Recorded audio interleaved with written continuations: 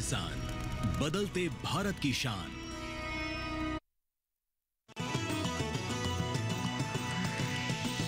DD किसान बदलते भारत की शान।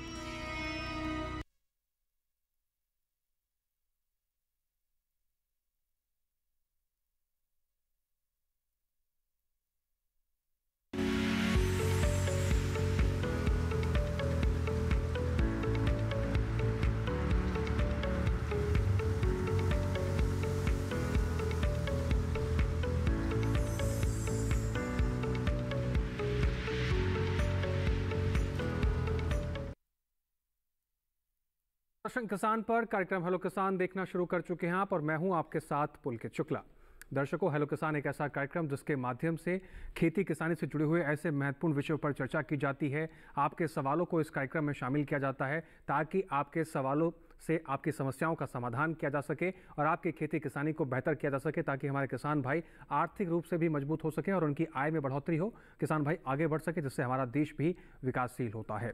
हेलो किसान के इस कार्यक्रम में हम हर बार की तरह अलग अलग विषयों पर चर्चा करते हैं? आज हेलो किसान, कार्यक्रम में हम ऐसे कौन से महत्वपूर्ण विषयों पर चर्चा करेंगे? इस पर एक बार भी नज़र डाल लेते हैं। हेलो किसान, कार्यक्रम में आज जिस विषय पर चर्चा की जाएगी, उसमें से सबसे पहले जो विषय रहने वाला है, वो है बेलदार सब्जियों की खेती को कैसे करें? इसको लेकर जो भी आपके सवाल हैं, उसको शामिल किया जाएगा। इसके अलावा खरीफ प्याज उत्पादन की तकनीक क्या होनी चाहिए, कैसे आप उत्पादन को बढ़ा सकते हैं और खरीफ में प्याज की खेती को लेकर क्या क्या सावधानियाँ हैं, इसके बारे में आज हम चर्चा करेंगे। इन दोनों महत्वपूर्ण विषय से जुड़े हुए आपके कोई भी सवाल हैं तो आप अपने सवाल सीधा टोल फ्री नंबर के ज़रिए आप हमसे पूछ सकते हैं। आप हमारे टोल फ्री नंबर का इस्तेमाल कर सकते हैं। टोल फ्री नंबर है एक आठ शून्य शून्य एक एक तीन शून्य छः शून्य, एक आठ शून्य शून्य एक एक तीन शून्य छः एक। फ़ोन करते समय एक चीज़ का दर्शक हमारे विशेष रूप से ध्यान रखें कि आपके टेलीविज़न की आवाज़ कम हो, साथ ही आपके फ़ोन में पर्याप्त नेटवर्क हो ताकि एक बेहतर संवाद स्थापित हो सके और आपकी समस्या का सही तरीके से समाधान हो सके और आपको सही तरीके से जवाब दिया जा सके। इसके अलावा आप व्हाट्सअप के ज़रिए भी अपने सवाल हम तक पहुँचा सकते हैं। आप हमारा व्हाट्सअप नंबर नोट कर लीजिए। हमारा व्हाट्सअप नंबर है आठ आठ शून्य शून्य पाँच दो शून्य सात एक सात।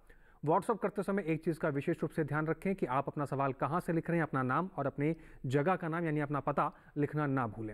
इसके अलावा आप हमें ईमेल के ज़रिए भी अपने सवाल पहुँचा सकते हैं। आप हमारी ईमेल आईडी नोट कर लीजिए। हमारी ईमेल आईडी है हेलो किसान दो हज़ार पंद्रह the rate Gmail dot com. तो आपके सवालों का हमें बेसब्री से इंतज़ार है और आपके सवाल के बिना हेलो किसान के कार्यक्रम अधूरा है। तो आपकी इसमें भूमिका बहुत महत्वपूर्ण होती है। तो आपके जो भी सवाल हैं, फ़ोन उठा के आप पूछना शुरू कर सकते हैं। इसके अलावा, इन दो विषय से जुड़े हुए जो खास एक्सपर्ट हैं, जो आपके समस्याओं का समाधान करेंगे और एक बार उनसे भी मिल लेते हैं। आज हमारे साथ स्टूडियो में मौजूद हैं डॉक्टर राकेश कुमार जी। सर, आपका बहुत स्वागत है। आप वैज्ञानिक हैं, कृषि विज्ञान केंद्र उज्जवा दिल्ली से। इसके साथ ही आज हमारे साथ डॉक्टर विजय महाजन जी हैं स्टूडियो में। सर, आपका भी बहुत स्वागत करते हैं। आप निदेशक हैं, प्याज एवं लहसुन अनुसंधान निदेशालय, पुणे, महाराष्ट्र से। तो चर्चा को आगे बढ़ाते हैं और जैसे कि आज हमारा विषय दो महत्वपूर्ण है कि बेलदार सब्जियों की खेती कैसे करें इसके लिए डॉक्टर राकेश जी का रुख करते हैं। डॉक्टर राकेश जी जब हम बेलदार सब्जियों की बात करते हैं तो उसकी खेती को लेकर कौन सी बातें बहुत महत्वपूर्ण होती हैं जो हमारे किसान भाइयों को ध्यान में रखनी चाहिए? आ, किसान भाइयों को बेलदार सब्ज़ी या कद्दू वर्गीय सब्ज़ी जो बेल वाली सब्ज़ियाँ होती हैं उनकी खेती के लिए सबसे पहले तो जो भी बीज का चुनाव करें वो प्रमाणित सोर्स से करें और बीज लगाने से पूर्व उसका उपचार आवश्यक है क्योंकि अगर बीज जनित बीमारी आती है तो आगे चल के किसान भाई बहुत ज़्यादा परेशान हो सकते हैं। इसके अलावा जो भी जो भी सिफारिश है उसकी दूरी या हम डिस्टेंस की बात करते हैं कि एक बीज से दूसरे बीज या एक पौध से दूसरे पौध की दूरी कितनी होनी चाहिए। साथ ही साथ अपने क्षेत्र की क्लाइमेट के हिसाब से प्रजातियों का चयन करें तो किसान भाई के लिए बहुत ज़्यादा अच्छा रहेगा। जी। तो ये बुनियादी तौर पर कुछ ऐसी बातें हैं जो किसान भाई बेलदार की सब्जियों खेती करते समय ध्यान में रख सकते हैं। इसको और विस्तार से और बारीकी से समझेंगे, लेकिन उससे पहले इस विषय से जुड़ी हुई एक खास रिपोर्ट पर भी नज़र डाल लेते हैं।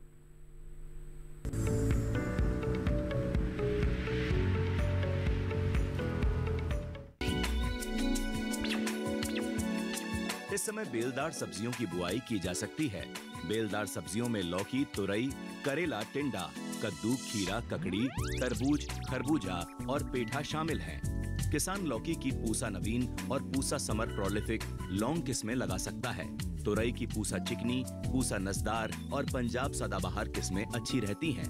करेला बोना चाहते हैं तो करेले की पूसा दो मौसमी, पूसा विशेष कोयम्बटूर लौंग और कल्याणपुर बारहमासी किस्में लगाएँ। वहीं टिंडे की Ludhiana selection Hisar selection one Kalyanpur और पंजाब टिंडा लगा सकते हैं। कद्दू की पूसा विश्वास, पूसा विकास और पूसा हाइब्रिड वन किस्में लगा सकते हैं? पेठे की उन्नत किस्में पूसा उज्जवल, पूसा श्रेयाली और पूसा उर्मी किस्में बो सकते हैं? खीरा बोना चाहते हैं तो खीरे की पूसा उदय, पूसा बरखा पॉइंट सेट कल्याणपुर और जैपनीज लॉन्ग ग्रीन किस्मों की खेती कर सकते हैं। बीजों की बात करें तो लौकी और तुरई के लिए चार से पाँच किलो, करेले का पाँच से छह किलो, टिंडे का पाँच से छह किलो, कद्दू का साढ़े तीन से चार किलो और काशीफल की बुआई के लिए तीन से चार किलो बीज एक हेक्टेयर के लिए काफ़ी रहेंगे। कद्दू वर्गीय, यानी बेलदार सब्जियों की उन्नत किस्मों के लिए 50 किलो नाइट्रोजन 25 किलो फास्फोरस और 25 किलो पोटाश प्रति हेक्टेयर की दर से इस्तेमाल करें। जबकि कद्दू वर्गीय संकर किस्मों के लिए 100 किलो नाइट्रोजन 50 किलो फॉस्फोरस और 50 किलो पोटाश प्रति हेक्टेयर की दर से इस्तेमाल करें। इस मौसम में बेल वाली फ़सलों में न्यूनतम नमी बनाए रखें, नहीं तो मिट्टी में कम नमी होने से पुष्पन और परागण पर असर हो सकता है। इससे फ़सल पैदावार में कमी आ सकती है। तापमान ज़्यादा रहने की आशंका को देखते हुए तैयार सब्जियों की तुड़ाई सुबह या शाम को करें और इसके बाद इन्हें छायादार जगह में रखें।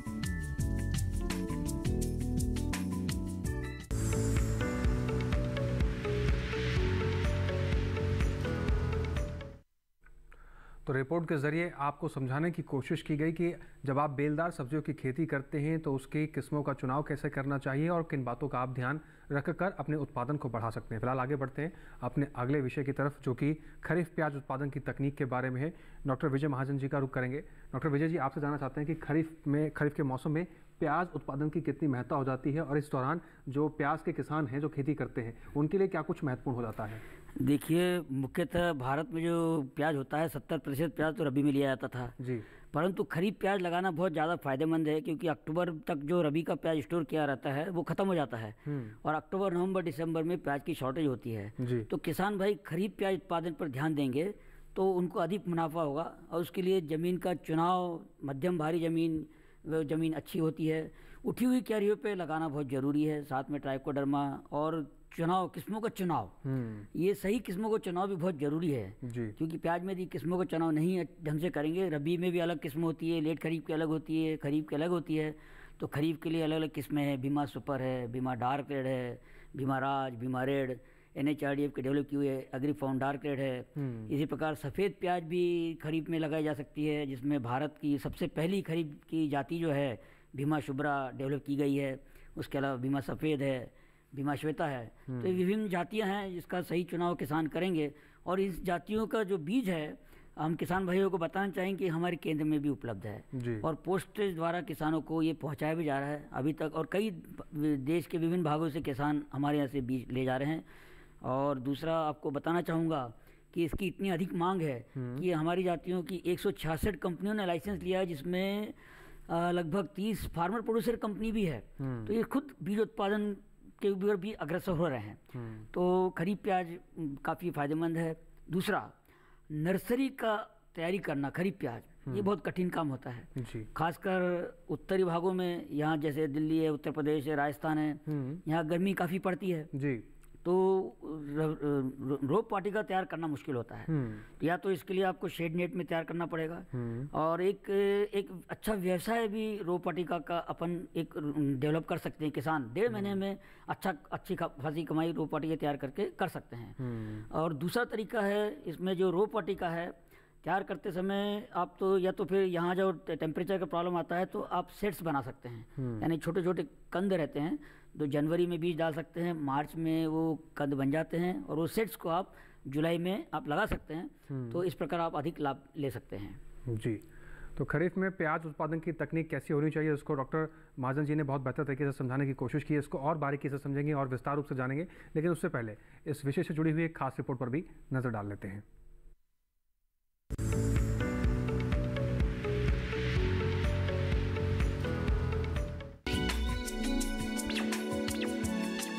देश में प्याज की खेती करने वाले राज्यों में महाराष्ट्र, गुजरात, उत्तर प्रदेश उड़ीसा कर्नाटक, तमिलनाडु, मध्य प्रदेश, आंध्र प्रदेश और बिहार प्रमुख हैं। प्याज की खेती अलग अलग तरह की मिट्टी में की जा सकती है। प्याज की खेती के लिए उचित जल निकास और जीवांश युक्त उपजाऊ दोमट व बलुई दोमट भूमि, जिसका पीएच मान साढ़े छह ऐसी साढ़े सात के बीच हो, सबसे अच्छी मानी जाती है। प्याज को ज़्यादा क्षारीय या ज़्यादा दलदली मिट्टी में नहीं उगाना चाहिए। अगर खरीफ मौसम में बीज द्वारा पौधा बनाकर प्याज की फ़सल लेनी हो तो बुआई जून के मध्य तक कर सकते हैं और अगर छोटे कंदों द्वारा खरीफ में अगेती या हरी प्याज लेनी हो तो कंदों को अगस्त में बोएँ। एक हेक्टेयर में फ़सल लगाने के लिए 8 से 10 किलो बीज काफ़ी रहेंगे पौधे और कंद तैयार करने के लिए बीज को क्यारियों में बोएँ, जिनका आकार तीन बाय एक मीटर रखें। बारिश के समय उचित जल निकास के लिए क्यारियों की ऊंचाई 10 से 15 सेंटीमीटर रखनी चाहिए। नर्सरी में अच्छी तरह खरपतवार निकालने और दवा डालने के लिए बीजों को 5 से 7 सेंटीमीटर की दूरी पर पंक्तियों में 2 से 3 सेंटीमीटर गहराई पर बोना अच्छा रहता है। किस्मों की बात करें तो प्याज की N53, Pusa red Pusa Ratnar agri found light red और एग्री फाउंड रोज किस्में खरीफ में लगाने के लिए अच्छी हैं।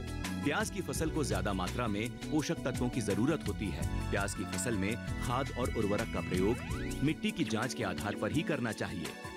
खरीफ प्याज के लिए 75 kilo nitrogen 40 kilo phosphorus 40 kilo potash और 20 किलो सल्फ़र प्रति हेक्टेयर की दर से इस्तेमाल करें।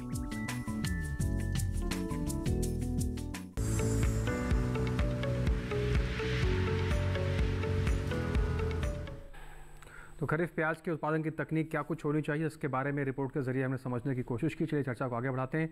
डॉक्टर राकेश कुमार जी का फिर से रुख करेंगे। डॉक्टर राकेश कुमार जी, आप दोनों ही मेहमानों ने बहुत बेहतर तरीके से शुरुआत में बताया कि हमें किस्मों का चुनाव या बीज का चुनाव करना बहुत ज़रूरी होता है। मैं आपसे जानना चाहता हूँ, जो किसान भाई बेलदार सब्जियों की खेती करना शुरू करें तो जब उसमें बीज के चुनाव की बात आती है तो बीज का चुनाव करते समय किसान भाई किन बातों का मुख्यतः रूप से ध्यान रखें कि हमें इस चीज़ को ध्यान में रखते बीज को लेना चाहिए? दूसरी चीज़, इसमें एक चीज़ और ऐड करके बताइएगा कि जैसे देश में अलग अलग राज्यों में अलग अलग सब्जियों की खेती की जाती है। हर राज्यों के हिसाब से अलग अलग किस्में हैं या फिर किसी भी राज्य में किसी भी तरह की किस्म लगाई जा सकती है। आ, बहुत अच्छा सवाल है। ये किसान भाइयों के लिए भी बहुत ही आवश्यक सवाल है। जी। क्योंकि एक बार फ़सल जब खराब हो जाती है तो हमारा पूरा सीज़न जो है बर्बाद हो जाता है। तो किसान भाई को ये ज़रूरी होता है कि उनको सबसे पहले बीज पे हमें फोकस करना होगा। कि उसमें जो भी आप जिस स्टेट में है क्योंकि भारतवर्ष में जितने भी राज्य हैं सबके तापमान और क्लाइमेट सिचुएशन मिट्टी पानी सब अलग अलग है। बिल्कुल। तो किसान भाई को अपने क्षेत्र के हिसाब से जो पास के इंस्टीट्यूट्स हैं जितने भी कृषि विश्वविद्यालय कृषि विज्ञान केंद्र या आईसीआर के बहुत सारी संस्थाएँ हैं हम्म। जो भी पास में है वहाँ से संपर्क करें क्योंकि हर क्षेत्र के लिए अलग अलग वैरायटीज और तापमान के अनुसार से निर्धारित की गई है हम्म। और सबसे ज़रूरी होता है किसान भाई ये देखने को मिलता है कि किसान भाई फ़सल कहीं से भी बीज खरीद लेते हैं जैसे दुकान से या बाहर से हम्म। खरीद लेते हैं उनको पता नहीं होता है कि प्रजाति कौन सी है और हमें कौन सी वैरायटी लगानी है हम्म।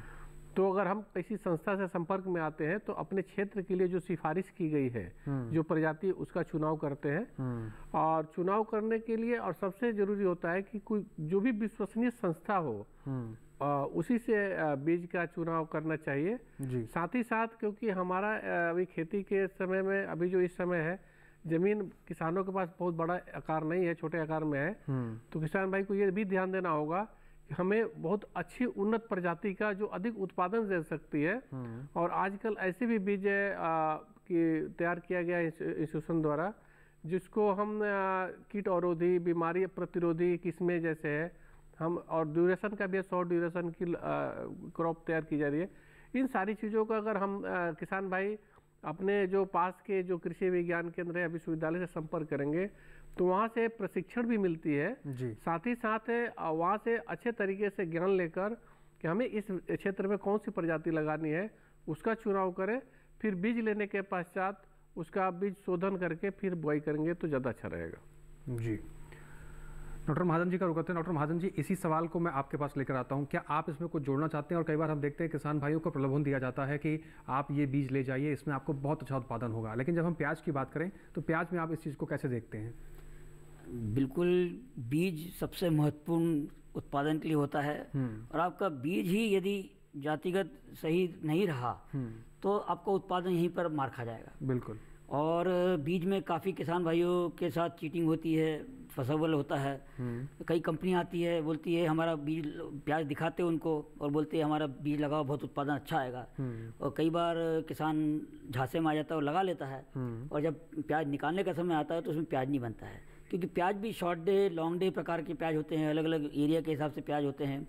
तो वो प्याज यदि लगाना भी चाहे तो पूरे क्षेत्र में न लगाए। पहले छोटे से एरिया में भाई या तो आजू बाजू वो चर्चा कर ले विश्वविद्यालय में या किसी और किसान ने या किसी केवीके में भाई उस जाति को कहीं लगा के देखा है क्या? यदि नहीं देखा है तो थोड़े से एरिया में वो लगा के देखे यदि वो चाहता है तो।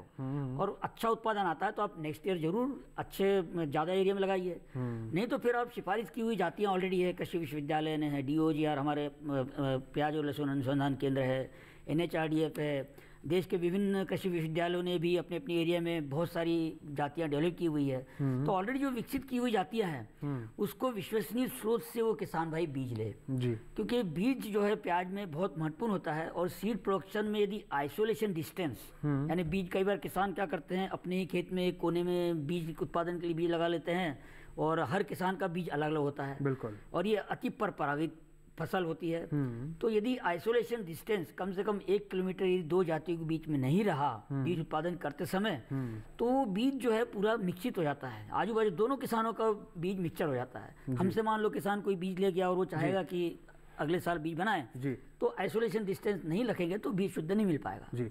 डॉक्टर महाजन जी, आपने बहुत महत्वपूर्ण बात की है। इसी दौरान हमारे दर्शक हैं जो फ़ोन लाइन पर जुड़ गए हैं, उनका सवाल शामिल कर लेते हैं। नीतीश मिश्रा हैं, नरसिंहपुर, मध्य प्रदेश से। नमस्कार, मेरा नाम नीतीश मिश्रा मैं नरसिंहपुर, मध्य प्रदेश से बात कर रहा हूँ। तो मेरा सवाल यही है कि जो नए वेराइटियाँ आई हैं प्याज की भीमा राज भीमा रेड और भीमा श्वेता इनका सीड कहाँ पर उपलब्ध हो सकता है? तो हम कहाँ संपर्क कर सकते हैं इनको लगाने के लिए? और खरीद के लिए हमारे पास एक बहुत पुरानी वेरायटी रखी हुई है एन तिरपन। तो क्या हमारे नर्सों के लिए किस्म अच्छी है? क्योंकि इसमें सर रस चूसने वाले कीटों का अटैक काफ़ी देखा जा रहा है? एफेड और जैसिड का। तो क्या हम एन तिरपन को लगा सकते हैं क्या नहीं लगा सकते हैं? जी डॉक्टर महाजन जी। भाई किसान भाइयों को मैं बताना चाहूँगा कि एन तिरपन अब ये किस किस्म उपलब्ध नहीं है? इसका ब्रीडर सीड भी उपलब्ध नहीं है। हम्म। तो Bombay red Poona red N त्रेपन ये कोई भी वैरायटी उपलब्ध नहीं है।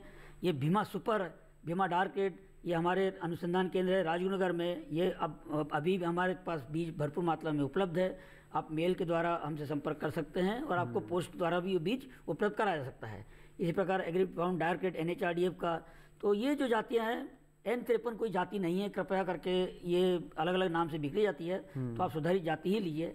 भीमा सुपर का खूब प्रचलन है और काफ़ी अच्छी जाती है और इसका बीज भरपूर मात्रा में हमारे यहाँ उपलब्ध है। हम्म, जी। डॉक्टर राकेश कुमार जी का रुक करते हैं फिर से एक बार।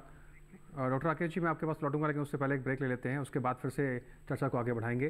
तो दर्शकों, लगातार चर्चा जारी है कि कैसे बेलदार सब्जियों की खेती करें और खरीफ प्याज के उत्पादन की तकनीक क्या होनी चाहिए। इन दोनों विषय से जुड़े हुए आपके जो भी सवाल हैं तो लगातार टोल फ्री नंबर अब फ्लैश किए जा रहे हैं स्क्रीन पर व्हाट्सअप नंबर और ईमेल भी आपको फ्लैश किया जा रहा है। इन तीनों माध्यमों का इस्तेमाल कर आप अपना सवाल हम तक पहुँचा सकते हैं और अपने समस्या का समाधान पा सकते हैं। फ़िलहाल, रुकते हैं एक छोटे से ब्रेक लिए, आप बने रहें और देखते रहें कार्यक्रम हेलो किसान।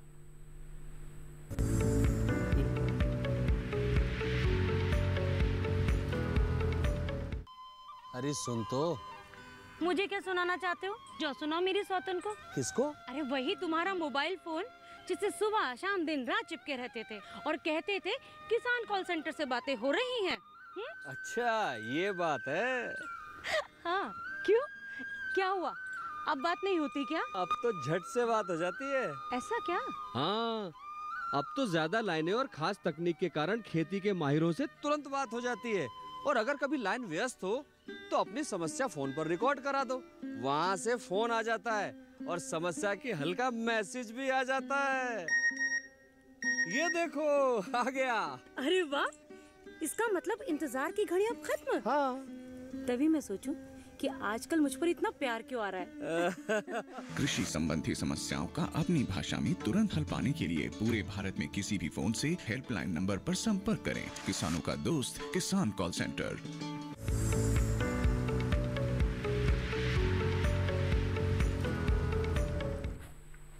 ब्रेक के बाद एक बार फिर से आप सभी का स्वागत है। आप देख रहे हैं अपना पसंदीदा कार्यक्रम हेलो किसान लगातार दो विषय महत्वपूर्ण हैं जिन पर चर्चा जारी है और दर्शकों के कॉल भी हमें मिल रहे हैं। फ़िलहाल एक और दर्शक हैं जो फ़ोन लाइन के ज़रिए हमारे साथ जुड़ गए हैं। विपिन है सागर मध्य प्रदेश से। विपिन जी आपका स्वागत है। अपना सवाल पूछिए। जी नमस्कार सर। जी नमस्कार।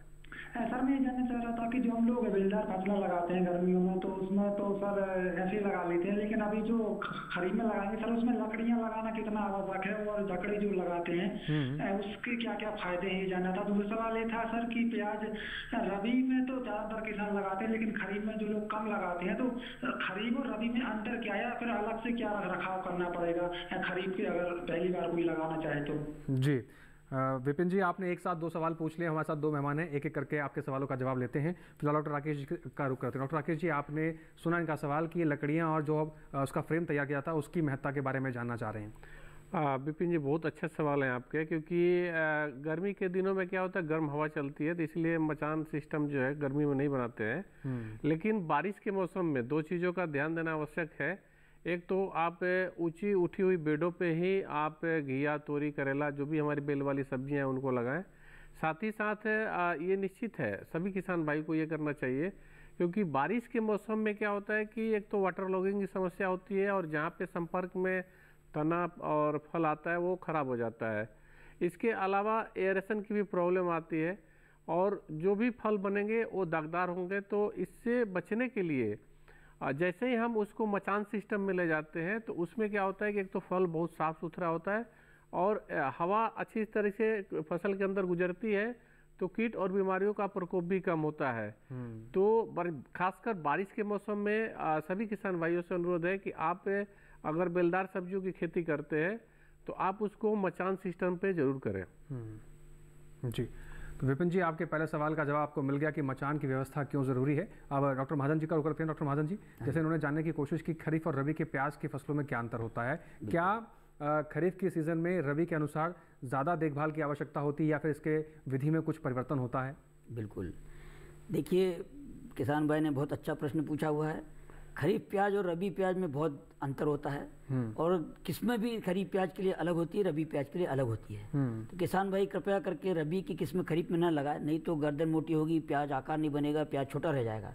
और दूसरी बात लगाने का तरीका और तकनीक में भी बहुत अंतर होता है। खरीफ प्याज जो है मध्यम भारी ज़मीन या हल्की ज़मीन हो तो काफ़ी अच्छा उत्पादन हो सकता है और उसमें प्याज पानी का निकास बहुत ज़रूरी है। साथ में खरीफ प्याज लेना हो तो उठी हुई क्यारियों पे ही प्याज ले। यदि सपाट वाफे में यानी प्लेन क्यारियों में आप प्याज लेंगे और पानी का निकास अच्छा नहीं होगा तो आपको उत्पादन पर बहुत फ़र्क पड़ेगा। और दूसरा खरीफ में यदि ड्रेनेज अच्छा नहीं रहा तो ये जलीबी रोग होता है ना जो एंथ्रेक्नोज वो काफ़ी प्रमाण में अटैक कर सकता है। तो खरीफ प्याज में जल निकास अच्छा होना चाहिए और सही वैरायटी का चुनाव होना चाहिए। और खरीफ प्याज की जो भंडारण क्षमता है वो हार्डली एक महीने से अधिक नहीं होती है। लेकिन रबी प्याज की जो भंडारण क्षमता अच्छी होनी चाहिए क्योंकि रबी प्याज अक्टूबर तक भंडारित किया जाता है। यदि आप भंडारण क्षमता कम होगी तो मई जून में किसान भाई को उसका मुनाफा अच्छा नहीं मिलेगा। इसलिए भंडारण क्षमता रबी की अच्छा होना ज़रूरी है जबकि खरीफ में भंडारण क्षमता अच्छी नहीं होती है। दूसरा नेकफॉल जो होता है खरीफ प्याज में नेकफॉल नहीं हो पाता है जो गर्दन गिरती है परिपक्व होने के टाइम पे जबकि रबी में गर्दन गिर जाती है प्याज की और उसके बाद अपन प्याज निकाल सकते हैं। जी। विपिन जी, आप इस तरीके से अपने रबी और खरीफ के प्याज की फ़सलों का अंतर जान पाए होंगे और उम्मीद करते हैं कि आप आगे चलकर अच्छी खेती करेंगे और मुनाफा भी कमाएँगे। डॉक्टर राकेश जी का फिर से रुक करते हैं। डॉक्टर राकेश जी, जब बात हम यहाँ सिंचाई की करते हैं तो बीज लगाने के बाद अगर हम बेलदा सब्जियों की खेती की बात करें तो इसमें सिंचाई की व्यवस्था कैसी होनी चाहिए? कितने समय के अंतराल के बाद सिंचाई करनी चाहिए? और जैसे हम देख रहे हैं कि बारिश का मौसम है तो ऐसे समय में क्या कुछ देखभाल करनी चाहिए अपनी बेलदा सब्जियों की खेती? जी। आ, जैसे ही आ, किसान भाई को बताना चाहेंगे कि आ, जो भी बेल वाली सब्ज़ी की खेती करते हैं खासकर हम अभी बारिश की मौसम में करने की बात कर रहे हैं तो अभी जैसे गर्मी बहुत ज़्यादा थी तो किसान भाई एक बार बारिश अगर हो जाती है और अच्छा मौसम हो जाता है जी। तभी बीज की बुआई करें। अन्यथा क्या होता है कि अगर बीज की बुआई करते हैं और तापमान बाहर का बहुत ज़्यादा होता है तो अंकुरण के साथ ही पौधे मर जाते हैं। तो किसान भाई ये निश्चित करें कि एक बार अच्छी बारिश हो जाए अपने क्षेत्र में उसके बाद खेत की अच्छी तरह से तैयारी करके और उसको नालियों में विभक्त करें। जैसे हम नाली बनाते हैं उसके ऊपरी टॉप पे जो शीर्ष पे है हम बीजों की बुआई करते हैं। साथ ही साथ एक नाली से जो दूसरी नाली की दूरी रखते हैं बारिश के मौसम में क्योंकि बेल ज़्यादा फैलती है तो हमें चार मीटर के आसपास हमें रखना चाहिए गैप एक लाइन से दूसरी लाइन की। साथ ही साथ ये अगर हम बारिश की जो जैसा कि सर ने ये बताया कि बरसात के मौसम में एक विशेष चीज़ ध्यान रखनी है कि हमें जहाँ पे भी घिया या बेल वाली सब्जियों की खेती कर रहे हैं जल निकास की व्यवस्था आवश्यक है।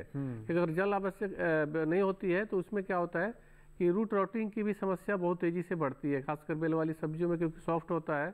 तो जड़ गलन की बीमारी ज़्यादा आती है तो किसान भाई जल निकास की व्यवस्था करें। और इरिगेशन की जहाँ तक बात है कि अगर बारिश अच्छी तरह से हो रही है तो उन क्षेत्रों में इरिगेशन की ज़रूरत नहीं पड़ेगी। अगर बारिश नहीं होती है तो किसान भाई 10 से 15 दिन के पर एक इरिगेशन कर सकते हैं। जी। तो बे, तो बेलदार सब्ज़ी की खेती में जिस तरीके से सिंचाई की व्यवस्था के बारे में बताया गया उसके अनुसार ही किसान भाई अपनी बेलदार सब्जियों की देखभाल करें। फ़िलहाल एक दर्शक हैं जो फ़ोन लाइन के ज़रिए जुड़ गए हैं नंदस्वरूप मिश्रा बाराबंकी उत्तर प्रदेश से। नंदस्वरूप जी आपका स्वागत है अपना सवाल पूछिए। हेलो। जी नंदस्वरूप जी आपका स्वागत है अपना सवाल पूछिए। हाँ तो मैं जानना ये चाहता हूँ जी। जो हमारी लता वाली सब्ज़ियाँ होती हैं जी। पौधे से लेकर के अब अब फूल तक और अब अब जो हमारा फल बनता है। वहाँ तक उसको सुरक्षित रखने के लिए हमें कौन कौन से रोग से सावधानी बरतने की ज़रूरत है कौन कौन से कीट लग सकते हैं उनको भी हमको बचाने की ज़रूरत है। जी। नंदस्वरूप जी आपका सवाल बहुत महत्वपूर्ण है क्योंकि अगर आपकी फ़सल उत्पादन अच्छी रहे, रहेगी क्योंकि तभी जब आप अपनी फ़सल को बचा पाएँगे। फ़िलहाल डॉक्टर राकेश जी आपसे जवाब इस सवाल का जान, जानना चाहते हैं। जी नंदस्वरूप जी मैं आपको बताना चाहूँगा कि जो बेल वाली सब्ज़ी एक तो सबसे पहले हम लोगों ने चर्चा की कि अच्छे जगह से बीज लीजिए साथ ही उपचारित करके आप बुआई करिए। और एक खास बात कि आपने देखा होगा कि बेल वाली सब्जियों में फूल तो बहुत दिखाई देते हैं फल कम बनते हैं। तो जब अंकुरण हो जाए और दो पत्ती और चार पत्ती की अवस्था हो तो उसमें आप इथेराल का एक एम चार लीटर पानी के हिसाब से अगर स्प्रे करते हैं तो उसमें क्या होता है कि जो मेल फ्लावर्स हैं वो कम होंगे फीमेल ज़्यादा आएँगे तो उसमें फल ज़्यादा बनते हैं। तो एक तो इस बात का ध्यान देखना है कि हमारा अधिक उत्पादन लेने के लिए ये काम करना होगा। साथ ही साथ समय पे अगर बारिश हो रही है तो सिंचाई की बहुत ज़्यादा आवश्यकता नहीं है। अगर नहीं होती है तो आपने सिंचाई कर दस से पंद्रह दिन पे सिंचाई करनी है। इसके अलावा इस मौसम में सबसे विशेष ख्याल रखा जाता है कि बारिश के मौसम में कीट और बीमारियों का प्रकोप ज़्यादा होता है। जैसे कि खासकर बेल वाली सब्ज़ी में जो लाल भृंग कीट जो होता है उसका प्रकोप ज़्यादा होता है। तो उस अवस्था में आपने क्या करना है कि डेल्टा मेथ्रिन या नीम का अगर हम अ, जैविक तरीके से कर रहे हैं तो नीम ऑयल का पाँच एम प्रति लीटर पानी के हिसाब से स्प्रे करेंगे तो कंट्रोल हो जाएगा। अगर उससे कंट्रोल नहीं होता तो आप डेल्टा मेथ्रिन का आपने दो एम एक लीटर के हिसाब से आप स्प्रे करते हैं तो उसका भी कंट्रोल हो सकता है। और बेल वाली सब्ज़ी में जो बीमारी खासकर आती है एक तो डाउनी मिल्ड्यू आती है दूसरी पाउडरी मिल्ड्यू आती है। इन बीमारियों से बचने के लिए आ, आप तो जहाँ पे भी बारिश हो रही है जैसे आप जल निकास की बात कर रहे थे जल निकास अगर अच्छा रखेंगे तो उन क्षेत्रों में ये दिक्कत ज़्यादा नहीं आती।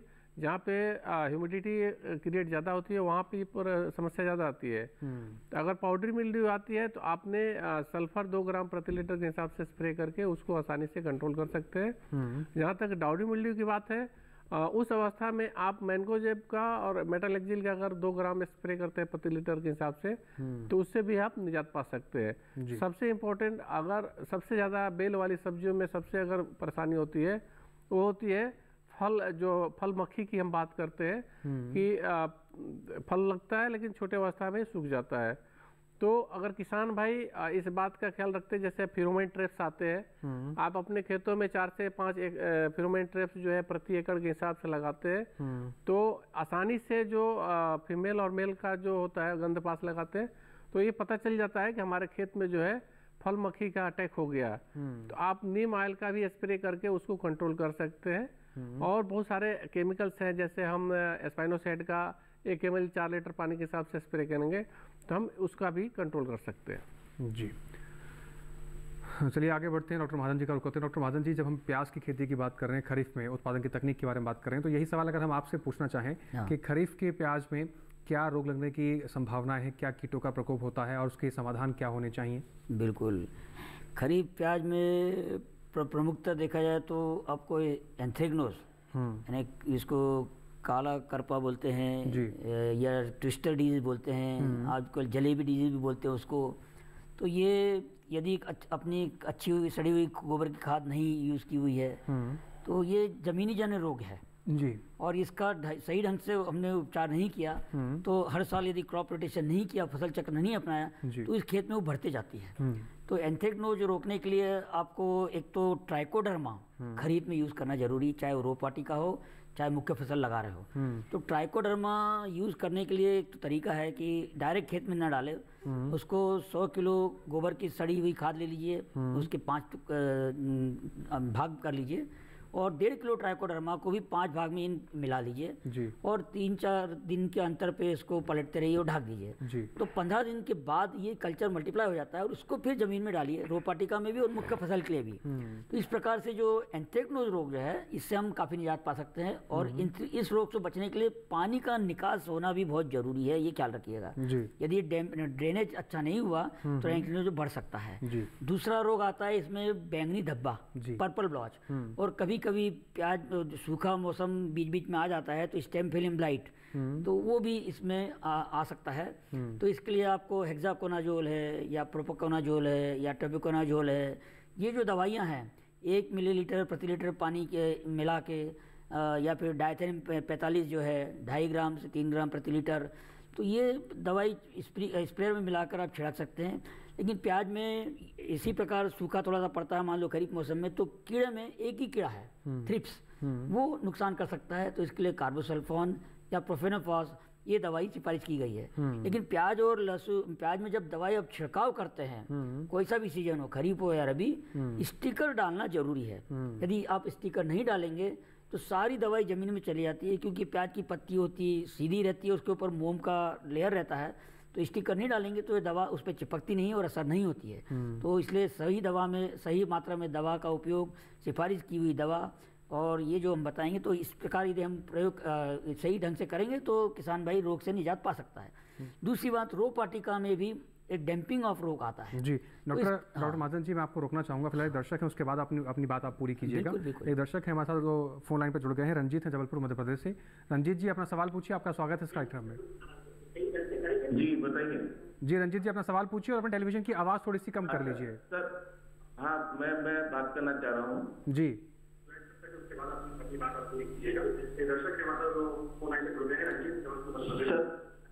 रंजीत जी अपने टेलीविज़न की आवाज़ को कम कर लीजिए थोड़ा सा। मैं कम कम कर रहा हूँ। सर नमस्कार सर। जी नमस्कार।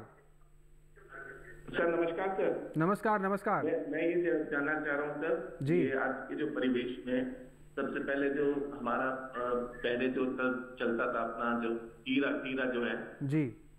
खीरा खीरा खीरा। जी जी। खीरा जो है सर हम्म।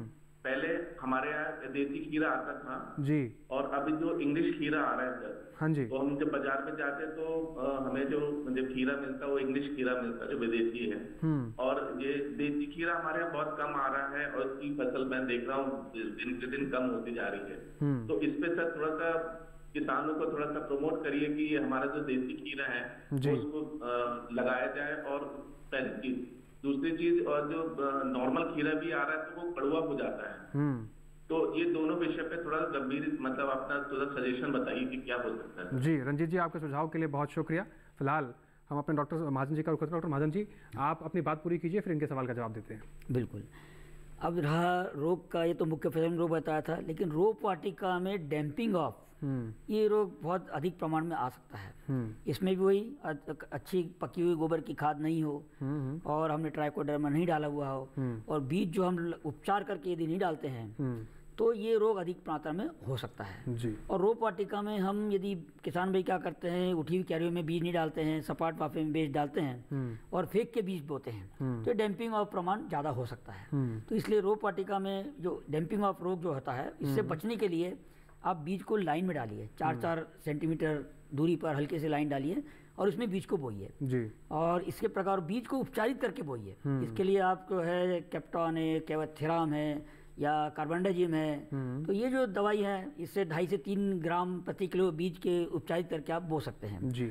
और जो डैम्पिंग ऑफ़ रोग यदि आ जाता है तो शुरुआत में ही इसका नियंत्रण कर लीजिए। इसके लिए आप जो है कॉपर ऑक्सीक्लोराइड ये ढाई से तीन ग्राम प्रति लीटर पानी के हिसाब से जहाँ जहाँ जो आ चुका है रोग वहाँ पर ड्रेंचिंग कर दीजिए। तो ये रोग बढ़ेगा नहीं। और ये रोग जब बदली वाला मौसम होता है रोप वाटिका में और गर्मी तीन चार दिन बादल रहती है थोड़ा सा उमस ज़्यादा होता है और इसका समय पर यदि हम उपचार नहीं करेंगे तो रातों रात आपकी पूरी नर्सरी खराब हो सकती है। जी। तो ये बहुत महत्वपूर्ण बात है। अगर खरीफ सीज़न में प्याज की खेती आप कर रहे हैं और ऐसे समय में आपके प्याज की खेती में कोई रोग और कीट लगने का डर बना है तो आप इस तरीके से समाधान कर सकते हैं और अच्छा खासा उत्पादन ले सकते हैं। हमारे दर्शक जो रंजीत जी ने सवाल पूछा था, उस सवाल का जवाब भी अपने डॉक्टर से हम लेंगे, लेकिन यहाँ एक ब्रेक ले रुकना होगा। ब्रेक के उस पार चर्चा लगातार जारी है। आप बने रहें और देखते रहें कार्यक्रम हेलो किसान।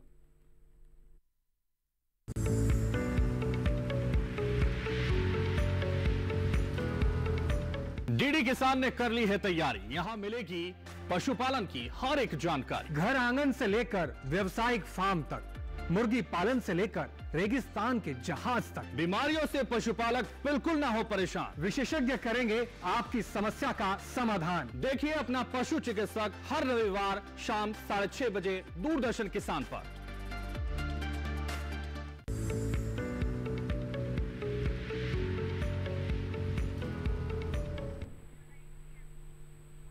ब्रेक के बाद एक बार फिर से आप सभी का स्वागत है। आप सभी देख रहे हैं अपना खास कार्यक्रम हेलो किसान लगातार दो महत्वपूर्ण विषयों पर चर्चा की जा रही है। लगातार toll free number WhatsApp number और ईमेल आईडी भी आपको फ्लैश की जा रही है। आपके जो भी सवाल इन दो विषय से जुड़े हुए हैं, आप सीधा फ़ोन उठाकर अपने सवाल पूछ सकते हैं। फ़िलहाल डॉक्टर राकेश जी का फिर से रुक कर लेते हैं राकेश जी जैसे हमारे दर्शक ने पहले सवाल पूछा कि आजकल वो देख रहे हैं कि बाज़ार में खीरे की जो प्रजाति है वो अलग तरीके से आ रही है और खीरे में कड़वा कड़वाहट की भी शिका, शिकायत इनको देखने को मिल रही है।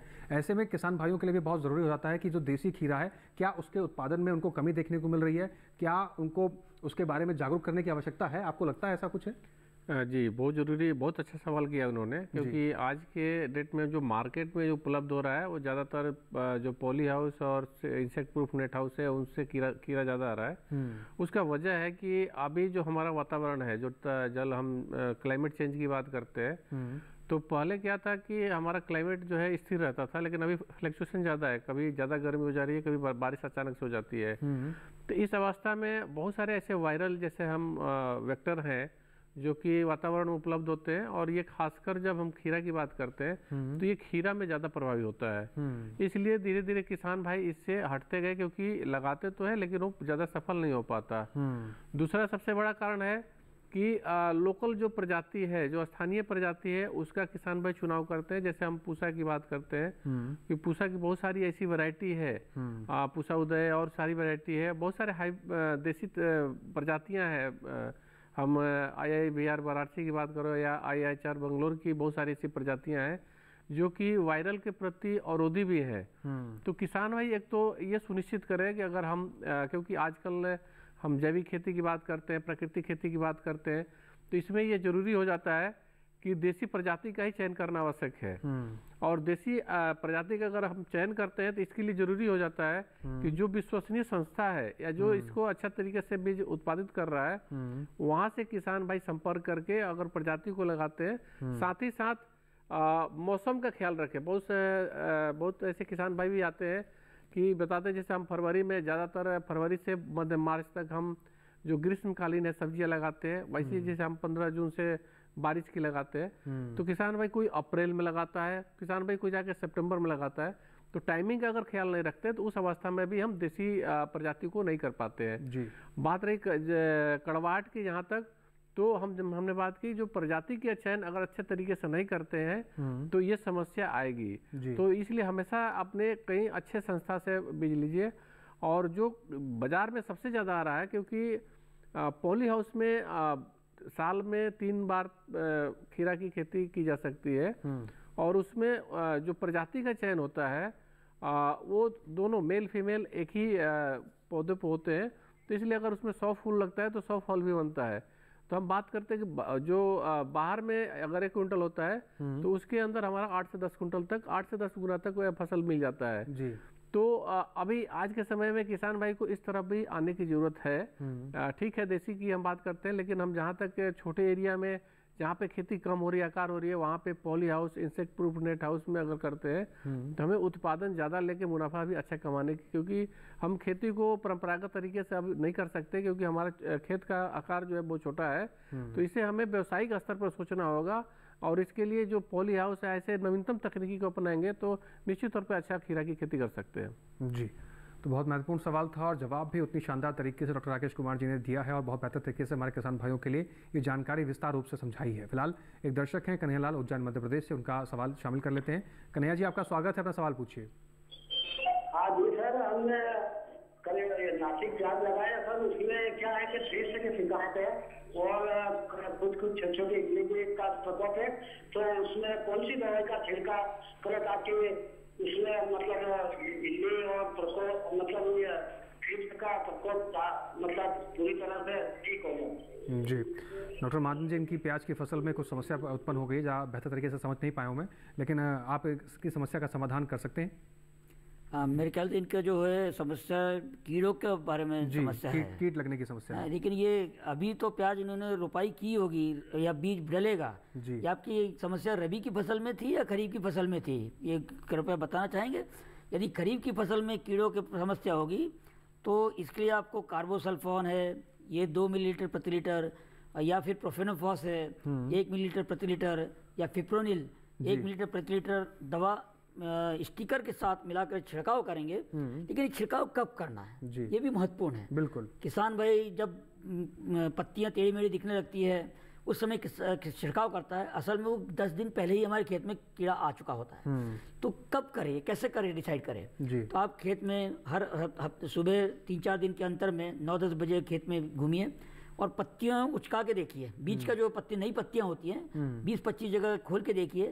एक एक पेड़ में बीस पच्चीस कीड़े यदि दिखे होंगे थ्रिप्स बोलते हैं उसको फूल कीड़े बोलते हैं उससे यदि अधिक दिखने लग रहे होंगे तो भले आपकी प्याज तंदुरुस्त हो उस समय ये कीटकनाशक जो सिफारिश किया गया है सही मात्रा में छिड़काव करेंगे। तो आपको एक या दो छिड़काव ही करना पड़ेगा। नहीं तो आपको पाँच छः छिड़काव भी करेंगे तो वो आप कीट का व्यवस्थापन सही रूप से नहीं कर सकते हैं। इसलिए सही समय पर सही मात्रा में और सही दवा का छिड़काव करेंगे तो आप इससे निजात पा सकते हैं। जी। तो कन्हैया जी आप अपने प्याज की फ़सल की देखभाल इस तरीके से कर सकते हैं। डॉक्टर महाजन जी ने आपको विस्तार तरीके से आपकी समस्या का समाधान किया। फ़िलहाल कुछ दर्शक हैं जिन्होंने व्हाट्सअप के ज़रिए हमें सवाल भेजा उनके सवालों को भी शामिल कर लेते हैं। रघुनाथ पवार महाराष्ट्र से हैं उनका सवाल है प्याज की खेती में नैनो यूरिया एवं नैनो डीएपी का प्रयोग किस प्रकार किया जाना चाहिए और इनके इस्तेमाल से फ़सल को क्या विशेष लाभ होता है? Doctor Mahajan ji. Nano urea के ऊपर अभी हमारे केंद्र में प्रयोग चालू हैं और अभी प्राथमिक स्तर पर ये प्रयोग किए जा रहे हैं और देश के लगभग 26 केंद्रों में ये प्रयोग चल रहे हैं। जी। तो आने वाले एक या दो साल में इसके ऊपर सही रिज़ल्ट हमारे आ पाएँगे। उसी के बाद हम बता पाएँगे कि वास्तव रूप में ये कितने कारगर है और कितना फ़ायदेमंद रहेगा। जी। एक और दर्शक हैं जिन्होंने व्हाट्सअप के ज़रिए अपना सवाल भेजा है। आ, राकेश कुमार जी डॉक्टर आपके लिए सवाल है। मैं जानना चाहता हूँ कि क्या लौकी एवं कद्दू की फ़सल में नैनो यूरिया एवं नैनो डीएपी का इस्तेमाल करना लाभकारी होगा? अगर कर सकते हैं तो कितना डोज पे करना चाहिए? ये किरण है जयपुर राजस्थान से इनका सवाल है। जी। जो हम बात कर नैनो यूरिया और नैनो डीएपी की बात करते हैं तो हम बेसल डोज में जो सिफारिश है रिकमेंडेशन उसको तो हमें खेत में डालना ही डालना है। और अभी जो बेल वाली सब्ज़ियाँ हैं इस पे बहुत ज़्यादा कोई रिसर्च नहीं हुआ है कि जहाँ पे स्प्रे करके इसका फ़ायदे का अनुमान लगाया जा सकता है। लेकिन जहाँ तक बात है जहाँ पे हम फोलियर स्प्रे की बात करते हैं पुराने छिड़काव की बात करते हैं ये आमतौर पर हम फ़सलों में रिकमेंडेशन भी है। और ये दो एम प्रति लीटर के हिसाब से नैनो यूरिया का और दो एमएल जो है डीएपी का। जी। आ, बहुत सारे ऐसे किसान भाई कृषि विज्ञान केंद्र के क्षेत्र में जो गाँव है ऐसे कर रहे हैं और उनको फ़ायदा ही मिल रहा है। जहाँ पे नाइट्रोजन की कमी है उस क्षेत्रों में तो बहुत अच्छा फ़ायदा करता है।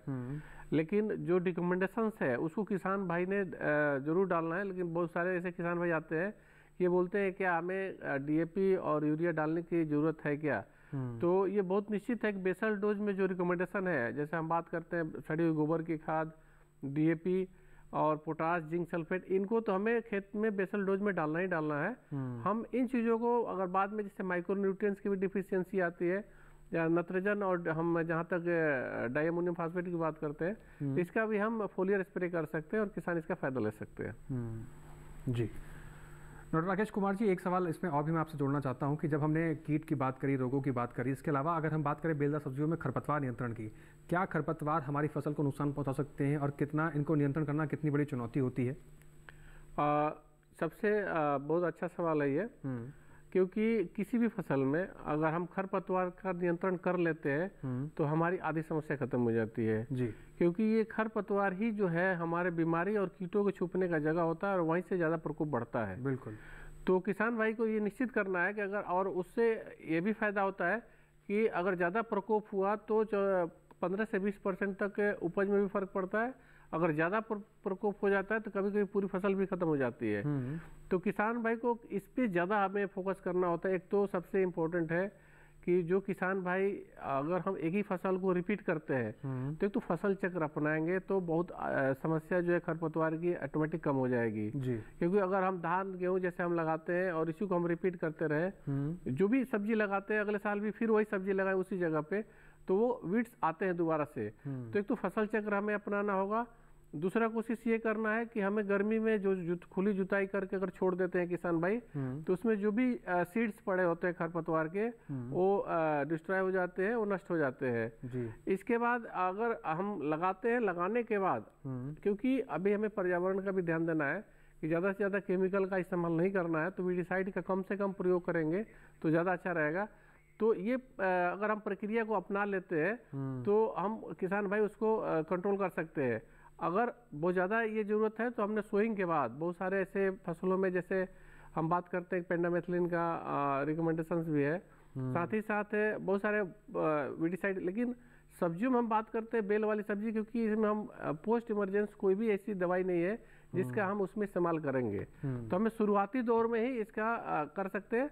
अगर मल्चिंग की व्यवस्था होती है तो मल्चिंग के माध्यम से भी हम खरपतवार को रोक सकते हैं। जी। तो ये व्यवस्थाएँ हैं जिसके ज़रिए आप अपनी फ़सल में या सब बेलदार सब्जियों में खरपतवार का नियंत्रण करेंगे तो कहीं ना कहीं आपका उत्पादन क्षमता भी बढ़ेगी और कीट लगने की जो संभावना है वो भी कहीं ना कहीं कम हो जाएँगी। फ़िलहाल एक दर्शक हैं जिनका फ़ोन लाइन के ज़रिए हमारे साथ जुड़ चुके हैं। कैलाश हैं उज्जैन मध्य प्रदेश से। कैलाश जी आपका स्वागत है। अपना सवाल पूछिए। नमस्कार नमस्कार।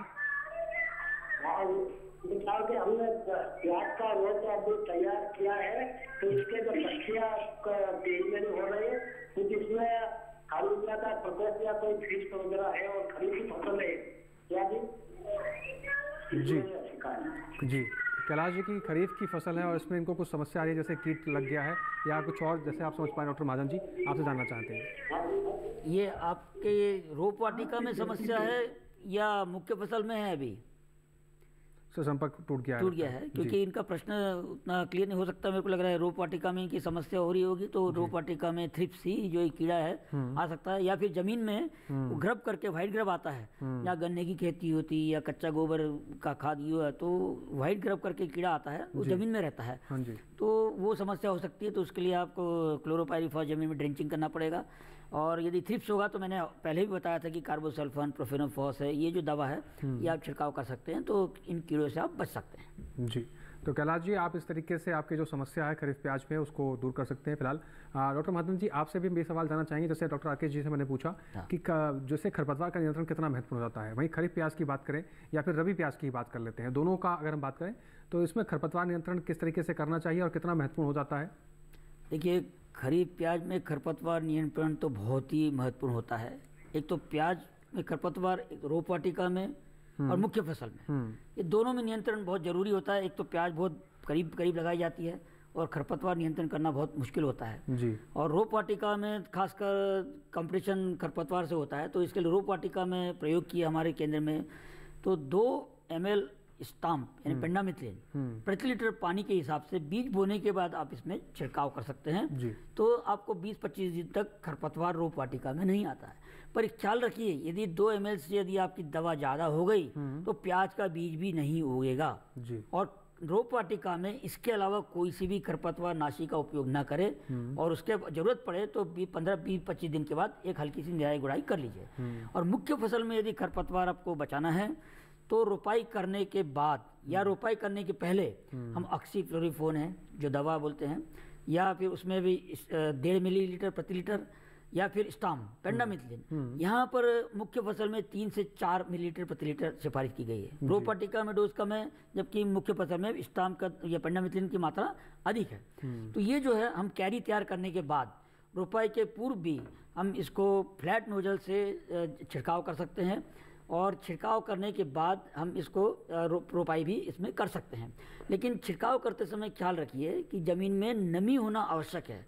यदि ज़मीन सूखी रही छिड़काव के बाद तो ये इतना असरकारक नहीं होता है।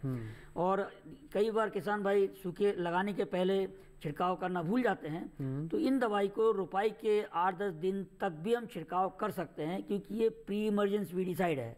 यानी रोपाई रोप किए हुए रोप को उसको नुकसान नहीं होता है और हम रोपाई करने के बाद भी हम इसको तो इससे हमको एक महीने तक लगभग ये खरपतवार से हम अच्छी तरह से बच सकते हैं। जी। डॉक्टर महाजन जी ने भी विस्तार तरीके से समझाया कि किस तरीके से आप अपने प्याज की फ़सल में खरपतवार का नियंत्रण कर सकते हैं लेकिन चर्चा को आगे बढ़ाएँ उससे पहले एक ब्रेक ले लेते हैं। आप बने रहें और देखते रहें कार्यक्रम हेलो किसान।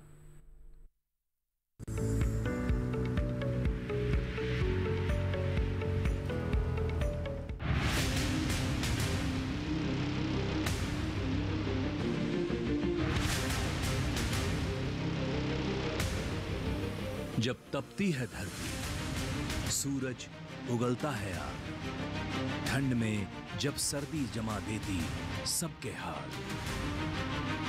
सब छुप जाते अपने अपने घरों में। तब बाहर निकलता सिर्फ़ एक इंसान। भरने के लिए हम सबका पेट खून को पसीने की तरह देता बहा थक जाता, झुलस जाता, हो जाता बीमार। तब उसकी सेहत का ध्यान रखता सिर्फ़ डीडी किसान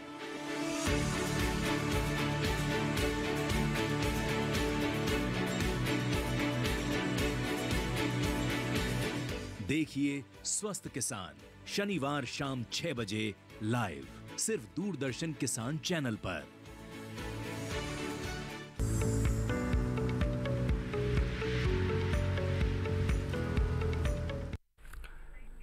ब्रेक के बाद एक बार फिर से आप सभी का स्वागत है। कार्यक्रम हेलो किसान में देख रहे हैं आप। अब इस कार्यक्रम के अंतिम चरण के हिस्से में हम पहुँच चुके हैं। डॉक्टर राकेश कुमार जी का रुक कर लेते हैं एक बार फिर से। डॉक्टर राकेश कुमार जी, अब हम आपसे जानना चाहते हैं कि जब हमने बीज लगा लिया, खरपतवार नियंत्रण कर लिया अपने फ़सल को कीट रोगों से बचा भी लिया, सिंचाई व्यवस्था भी मैनेज कर ली, अब बात कर लेते हैं तुड़ाई के बारे में। जब तुड़ाई की हम बात करते हैं तो किन बातों का विशेष रूप से ध्यान रखना चाहिए किसान भाइयों को? और फ़सल हमारी तुड़ाई के लिए तैयार है, इसको कैसे पहचानें? आ, ये बहुत ही आ, क्योंकि खासकर किसान भाई यहीं आके सारा चीज़ मेहनत करते हैं और यहाँ मात खा जाते हैं। क्योंकि आ, सबसे इम्पोर्टेंट है आज के समय में जो बाज़ार का हम बात करते हैं और हार्वेस्टिंग की बात करते हैं एक तो किसान भाई जैसे अभी गर्मी का मौसम है या अभी तापमान ज़्यादा है तो इस अवस्था में आगे भी जो बारिश के मौसम में तापमान और ह्यूमिडिटी ज़्यादा होती है जी। तो एक तो ख्याल रखें कि तुड़ाई जो है सुबह या शाम में ही करने हैं। जी। और तुड़ाई करने के पश्चात खुले जगह पे नहीं छोड़ने उन्हें कहीं शेड वाला स्थान पे जहाँ ठंडा हो वहाँ पे रखने हैं। हम्म। सबसे इम्पोर्टेंट है कि किसान भाई जब भी बाज़ार में जाते हैं अपने गठर में या बंडल में जिस तरीके से बना के जाते हैं वहाँ पे क्या होता है कि उनका जो आड़ती होते हैं मंडी में या बाज़ार में वो क्या करते हैं कि उनका मूल्य बहुत कम देते हैं। अगर सौ में दो फल भी खराब हुए या टेढ़े हुए तो उसके दाम नीचे देते हैं। तो किसान भाई का ये ज़रूरी होता है कि हमने इतनी मेहनत की उसके बाद भी बाज़ार में मूल्य उसका अच्छा नहीं मिल रहा तो इसके लिए इसलिए सोचना होगा तो सबसे पहले किसान भाई को जो भी तुड़ाई कर रहे हैं एक तो छटाई बहुत इम्पोर्टेंट है कि एक तो साफ़ सुथरा एक साइज़ का उसको फल को एक जगह इकट्ठा करना होता है। क्योंकि सौ में पाँच ही खराब होंगे चार ही खराब होंगे तो उनको किनारा कर ले। और एक तरह के जो साइज़ के होंगे एक तरह का होगा साफ़ सुथरा होगा।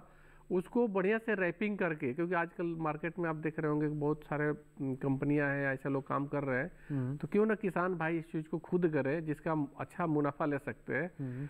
तो तुड़ाई के साथ साथ आ, उसकी छटाई करना पैकिंग करना और उसको बाज़ार तक पहुंचाना सुरक्षित तरीके से आ, ये बहुत आज के समय में सबसे ज़्यादा ज़रूरी है कि हम सारी मेहनत कर लेते हैं बाज़ार में जाके हमारा बहुत कम रेट मिलता है। वही रेट अगर रिटेलिंग के पास आता है या कि उपभोक्ता के पास आता है तो बहुत ज़्यादा रेट हो जाता है। जी।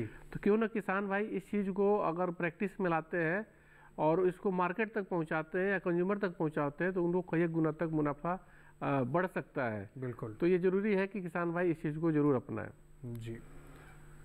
डॉक्टर महाजन जी का रुक लेते हैं। डॉक्टर महाजन जी यही सवाल मैं आपसे पूछना चाहता हूँ कि सब तैयारियों के बाद जब हम अपनी फ़सल को उत्पादन को बाज़ार तक पहुँचाने की तैयारी करने में लग जाते हैं तो उस समय किन बातों का ध्यान रखना चाहिए? कैसे प्याज की खुदाई करनी शुरू करनी चाहिए? देखिए खरीफ प्याज जो है लगाने के लगभग 90 से 100 दिन में परिपक्व होने के लिए तैयार होती है। तो किसान भाई कैसे पहचानेगा कि ये कैसे निकाली जाए? बिल्कुल और तैयार हो चुका है। तैयार हो चुका है। जी। एक तो उसमें गांठें नीचे बन जाती है। हम्म, दूसरी बात पत्तियाँ जो है पीली पड़ने लगती हैं। जी। क्योंकि इसमें गर्दन गिरती नहीं है। जैसे रबी में तो नेकफॉल होने लगता है लेकिन खरीफ में गर्दन नहीं दिखती है। हम्म, तो पत्तियाँ पीले पीले में पड़ जाती है और प्याज नीचे से फूलने लगता है। हम्म, तो 90 से 100 दिन की जब फ़सल हो जाती है। तो आप इसको निकालना चाहिए। जी। और निकालने के पश्चात आप उतनी मात्रा में निकालिए कि आप 10 से 15 दिन में उसको आप बाज़ार में बेच सकते हैं। यदि निकाल के आप महीना भर रख लेंगे तो इसमें स्प्रूटन हो जाता है सड़न की प्रॉब्लम हो जाती है स्प्राउटिंग हो जाती है। हम्म, तो ये कब निकालना है कितनी मात्रा में निकालना है ये बहुत महत्वपूर्ण होता है। जी। साथ में बाज़ार में बेचते समय आप ग्रेडिंग करिए। हम्म, किसान भाई अपने सबसे खासियत ये है कि किसान भाई पूरा मिक्स करके बाज़ार में ले जाता है ग्रेडिंग प्रतवारी नहीं करता है। हम्म, तो छटे हुए प्याज अच्छे आकार के गोल प्याज छांट लेने चाहिए और बाज़ार में ले जाना चाहिए। और ग्रेडिंग और पैकिंग पर यदि ध्यान नहीं देंगे तो व्यापारी उसका फ़ायदा लेते हैं और किसान भाई को उसका मुनाफा नहीं होता है। जी। तो इसलिए इसी प्रकार तो आप कब परिपक्व होता प्याज कब निकालना है और मार्केटिंग कब करना है मार्केटिंग कैसे करना है? आपने देखा होगा बिग बाज़ार में मॉल में जाते हैं किसान अब यही वो ठेले पे प्याज जो होगा दस रुपए किलो होगा तो मॉल में वो पैकिंग अच्छी कर देते हैं तो पच्चीस से तीस रुपए किलो हो जाते हैं। तो मार्केटिंग टैक्टिस ये बहुत महत्वपूर्ण है। जी। डॉक्टर राकेश जी का रुख कर लेते हैं। डॉक्टर राकेश जी तमाम बातों के साथ अब अंत में हम आपसे जानना चाहते हैं कि जो दर्शक हमें देख रहे हैं जो बेलदार सब्जियों की खेती करना चाहते हैं किसान भाई उनके लिए आप क्या संदेश देना चाहते हैं क्या हिदायत देना चाहेंगे बहुत कम शब्दों में? आ, अभी भारतवर्ष में जो है जो खेत का आकार छोटा हो रहा है हम किसानों के लिए बार बार बोलेंगे कि हमें कम से कम क्षेत्र में अच्छी प्रजाति लगा के और उसको अच्छे नवीनतम तकनीकी जैसे पॉली हाउस वगैरह का इस्तेमाल करते हैं ड्रिप इरिगेशन सिस्टम का इस्तेमाल करते हैं और मार्केट के जो जो अनुसार खेती करते हैं जो जो पास में मार्केट में क्या डिमांड है उसको ध्यान में रखकर करते हैं। तो किसान भाई को जो भी मेहनत कर रहे हैं उसका बहुत अच्छा फ़ायदा हो सकता है और अपने फ़सल से अच्छा मुनाफा ले सकते हैं। जी। तो हमारे किसान भाइयों के लिए बहुत महत्वपूर्ण जानकारी कार्यक्रम हेलो किसान के द्वारा पहुंचाई गई है। जिस तरीके से हमने आज बात करी बेलदार सब्जियों की खेती को लेकर कौन सी ऐसी महत्वपूर्ण बातें हैं जिनका किसान भाई ध्यान रख सकते हैं? बीज लगाने से लेकर फ़सल उत्पादन तक और उसको बाज़ार तक पहुँचाने तक कौन सी बातें हैं जिससे किसान भाई ध्यान में रखते हुए अपनी फ़सल से अच्छा उत्पादन के साथ साथ अपनी आय को भी बढ़ा सकते हैं? दूसरा, खरीफ प्याज उत्पादन की जो तकनीक रही, उस दौरान क्या क्या समस्याएँ आ सकती हैं? कैसे उत्पादन को बढ़ाया जा सकता है और कैसे आप पहचान सकते हैं कि आपकी फ़सल अब बाज़ार तक ले जाने के लिए तैयार है। इन तमाम बातों को समझाने के लिए जो हमारे साथ स्टूडियो में दो खास मेहमान रहे डॉक्टर राकेश जी डॉक्टर विजय महाजन जी आप दोनों मेहमानों का बहुत शुक्रिया। समय निकाल कर जो आप यहाँ आए और हमारे किसान भाइयों के लिए तमाम महत्वपूर्ण जानकारी आपने साझा की उसके लिए आप दोनों मेहमानों का बहुत शुक्रिया। धन्यवाद। तो आज के कार्यक्रम में आपने जाना कि किस तरीके से खेती किसानी के क्षेत्र में दोनों विषय महत्वपूर्ण थे और किसान भाई कैसे इन जानकारियों का सही इस्तेमाल कर खेती किसानी में आगे बढ़ सकते हैं, अपनी उत्पादन क्षमता को बढ़ा सकते हैं, अपनी आय को बढ़ा सकते हैं। आज के इस कार्यक्रम में बस इतना ही, लेकिन इस कार्यक्रम में अगले संस्करण में हम ऐसे कौन से विषय पर चर्चा करेंगे, एक बार उस विषय पर भी नज़र डाल लेते हैं। हेलो किसान, कार्यक्रम में हर संस्करण में अलग अलग विषय पर चर्चा होती है। ऐसे ही अलग अगले संस्करण में कौन से विषय रहेंगे, दुधारू पशुओं का प्रबंधन कैसे करें और उनका देखभाल कैसे करें ताकि आपके उत्पादन क्षमता में कोई कमी ना आए? साथ ही सुकर पालन को लेकर क्या कुछ सावधानियाँ, कैसे आप सुकर पालन को बेहतर कर सकते हैं, इसके बारे में हम चर्चा करेंगे। इस विषय से जुड़े हुए आपके कोई भी सवाल या कोई भी आप सुझाव हम तक पहुंचाना चाहते हैं तो आपको पता है आपको करना क्या है, आपको ईमेल करना है। इसके लिए आप हमारी ईमेल आईडी नोट कर लीजिए। हेलो किसान 2015 at the rate Gmail dot com हमारी है। आपके ईमेल्स का हमें इंतज़ार रहेगा। इसके अलावा आप हमारे किसान कॉल सेंटर पर फ़ोन कर कर भी अपने सवाल दर्ज करा सकते हैं, अपने सुझाव दर्ज करा सकते हैं।